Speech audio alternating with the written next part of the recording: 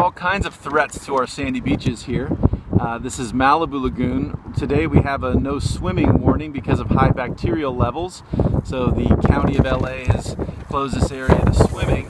And then if we look over here, we'll see that other sections of the beach are actually closed off. In this case, it's the section hugging the lagoon.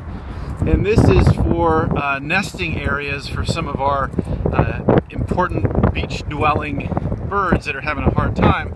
Things like our endangered uh, western snowy plover.